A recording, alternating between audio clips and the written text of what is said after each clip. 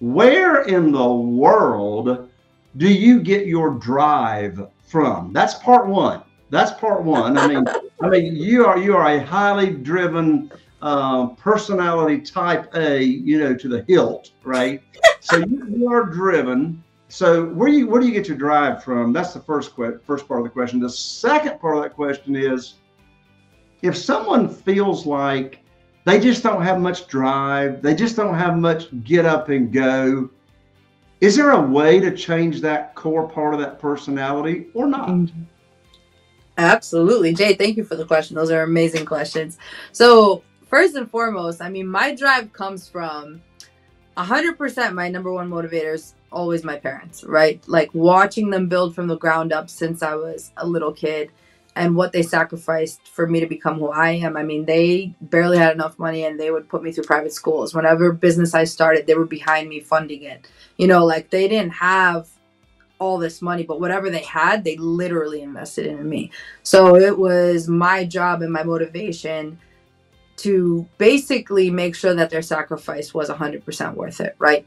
And to see them proud, I think, is the greatest thing because they did something that altered the course of my life, right? They came here, they put everything on the line and sacrificed for me. So now it's my duty to, you know, take it to the next level and make sure that they know that their sacrifice was worth it to come here and build something and hustle as hard as they did.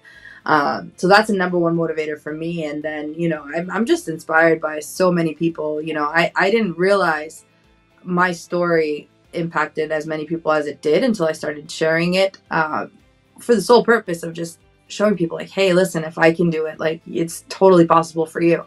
And not that every journey is the same, right? Because we're all different people. We walk different trails in different lives. So please, like, don't compare yourself to anybody else.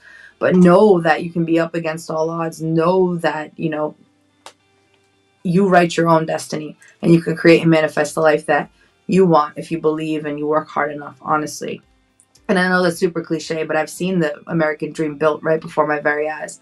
And it's the coolest thing in the world to see. So uh, that drives me, and I want to help other people get there. So that's definitely a big driver for me is to be able to get to this level at such a young age so that I can help more and more people get there and live their best lives. Because, you know, the second part of your question that you mentioned, Jay, was how do you get motivated? I mean, honestly, when you start to realize that you were put on this earth for a reason and that you're granted very specific gifts and you're very unique in who you are and what you do, that's a huge motivator. I think that digging deep within yourself and asking yourself like what is really your why? Like why do you get up every day and do what you do?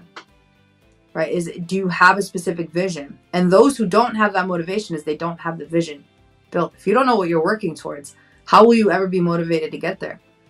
Right? But these reflective questions are not something that's specifically taught in school to really dig deep within yourself and say, "Hey, what do you what do you actually want?" If you ask most people, what is it that they actually want? Jay, I'm sure you'll get this answer. I don't know. That's the problem. If you lack vision, you will lack direction and therefore you will not be motivated.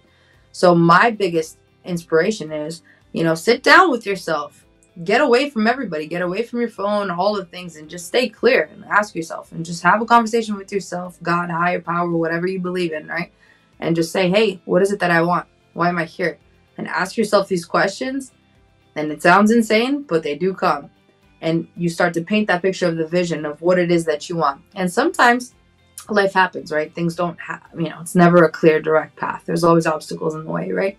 But at least you have a clear ver- vision of what you're working towards. And I think that that's super important. So the way that you combat that uh, anti motivation, I want to say, is you basically create a vision for yourself and really ask yourself what it is that you want and dig deep and what's stopping you from getting there.